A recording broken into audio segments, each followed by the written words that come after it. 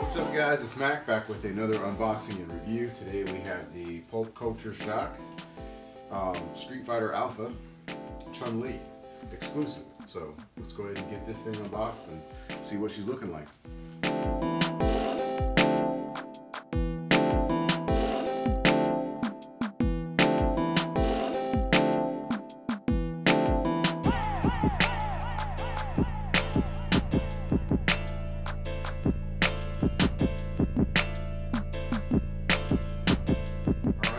Art box out of the shipper. Um, this is the standard version of the statue uh, with her normal uh, outfit on.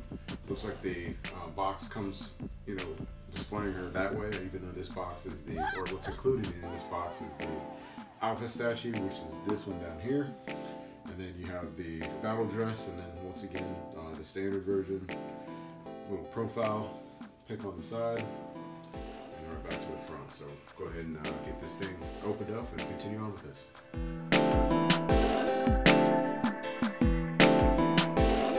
It looks like uh, PCS is going all XM on us. They have uh, included these straps for safekeeping of the statue during shipping. I kind of like it. It's labeled, uh, of course, top on the uh, top part of the box. And then as in standard fashion, you get the um, the protective gloves, and then you also have the Alpha exclusive certificate of authenticity. So let's go ahead and unstrap these.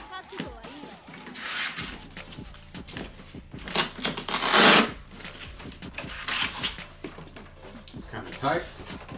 All right, so wow, look at here. So looks like uh, PCS is taking, some cues from uh, Prime One Studios. We have our like little red silky protectant here that's covering everything. We got uh, the Chun-Li head sculpt kind of pee peeking out at us right here. Body and some. Looks like these probably the little arm gauntlets here. Let's go ahead and pull this uh, head sculpt out.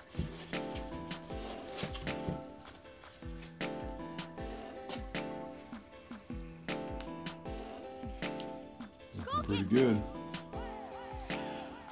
All right, so I'm gonna pull everything out, lay it out on the table so you guys can see what uh, comes in the packaging. Pull the base out real quick. Forgot to do that. See that real quick. "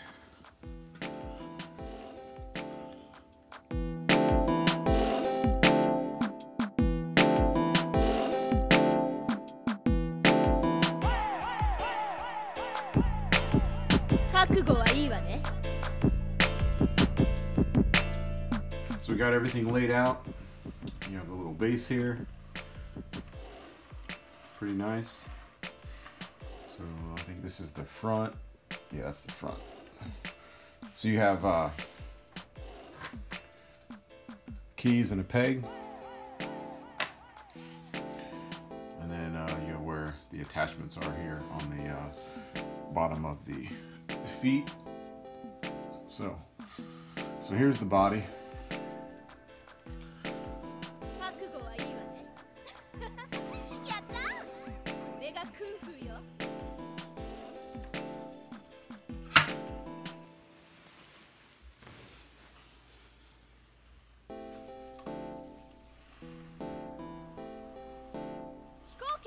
so it's nice and flush.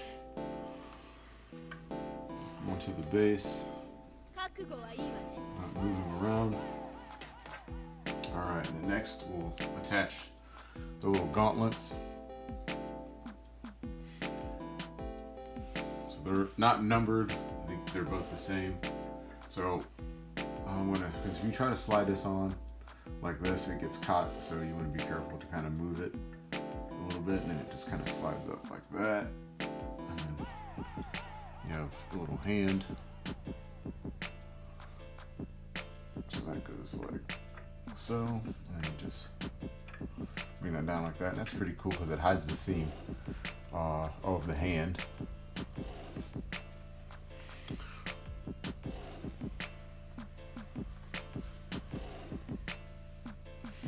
And the other one, kind of the other way. You kind of just place it in there, and then you have her uh, left hand.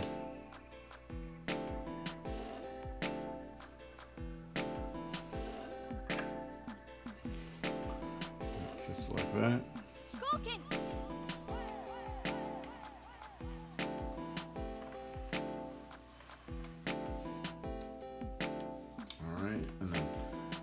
Lastly, you have the head sculpt.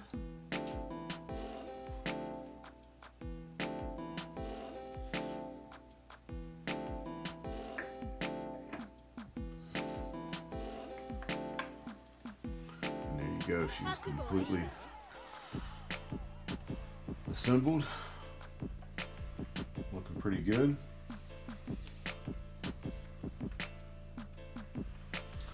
All right, so I'll switch on to checking this piece over, giving you guys a review next up.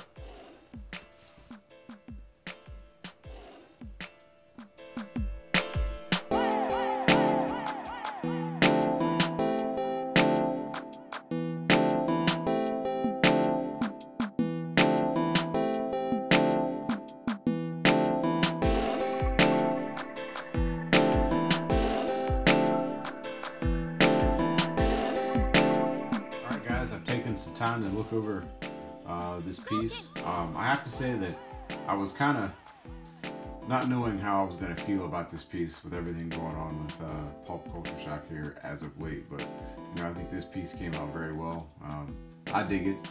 Let me know what you guys think uh, in the section in the comment section below.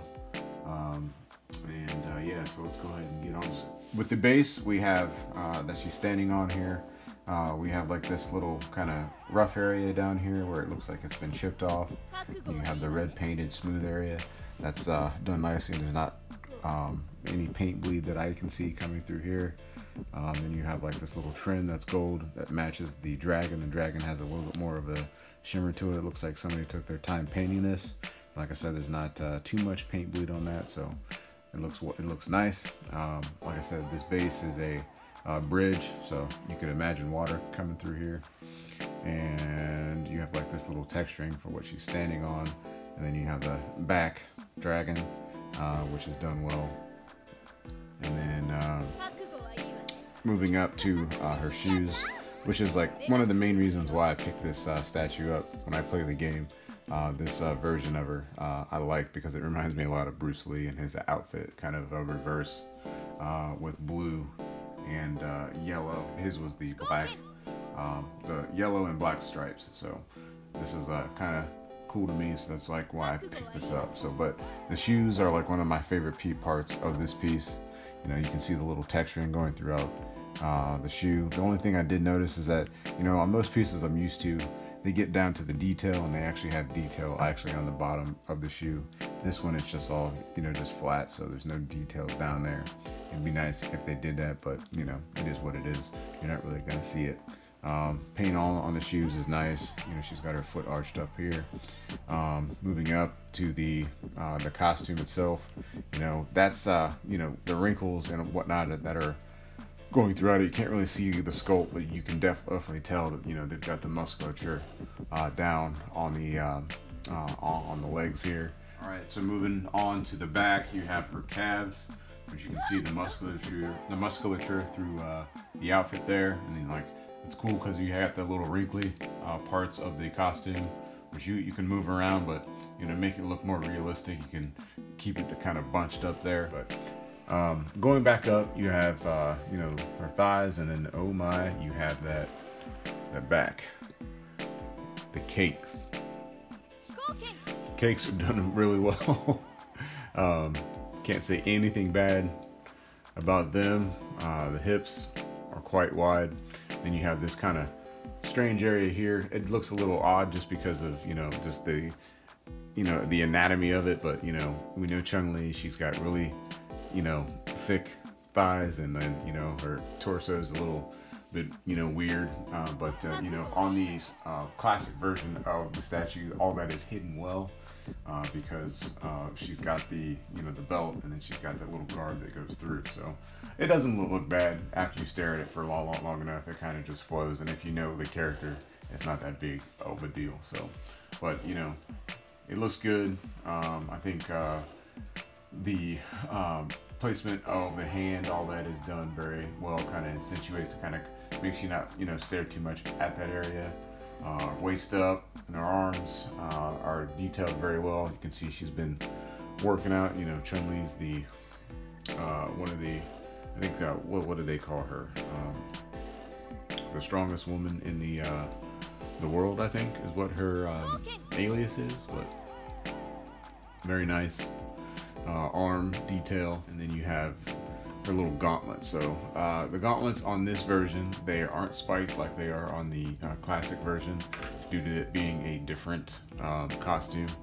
Um, but they're kind of round rounded off. And what I do like about them is too is how they have them placed. They hide the seams, so you can kind of move them around if you have a seam there, and it hides it. So I don't think I stated that earlier, but I wanted to, you know, point that out in the review portion. But also the same same way here.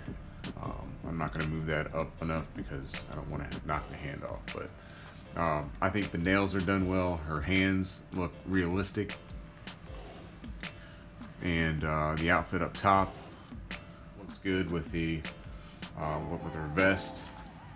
And then her face sculpt is done very, very well. Um, the gloss on the lipstick uh, on her lips there looks really good and they got the little glossy parts in the eyes. I'm not 100% sure if that's painted uh, or stickers, but that uh, is very nice. And then her hair or her bangs are done very, very well also. So I think that's pretty cool. And then if you notice on the other statues, the head sculpt is part of the main differences between the three. You have these little ties here, and then you have a little bit, this is all mixed media, and you have like a little bit of string here which you, you can cut off here never pull that because then you never know what you could unravel but I'll cut those off and then you know we should be fine so um, yeah so um, I do have the uh, battle dress on order as well I was gonna see which one I like more and uh, maybe um, sell one of them, but that may not be, be the case. I think I may have to keep these two. So uh, just depends on how the other one looks. So um, let me know what you guys think in the uh, comment section below. All right, guys, my overall impressions of this piece is that it's done very well. Um, I think PCS may be on a way to a comeback. Uh, I think uh, that they've uh, they keep hammering out pieces like this. I think uh, you know more people will be more excited to get their pieces in, and you know the stuff that's going on now will be in the past. So um, I'm happy with this. Um, if you guys are picking this up or picking up any of the other versions of this statue, um, I think you guys would be impressed with it. Um, I think it's you know one that'll stand out in the collection, in my collection at least. So uh, yeah, if you guys are into uh, Street Fighter, I also have uh, three different uh, other uh, Street Fighter pieces from Pop Culture Shock. I'll link those in the video uh, as well, so check those out when you get some time. Um, I appreciate you guys taking the time to watch. As always, I'm gonna go ahead and end this out with some pictures, close-ups of uh, you know the statue here, and uh, I'll see you guys in the next video. Peace.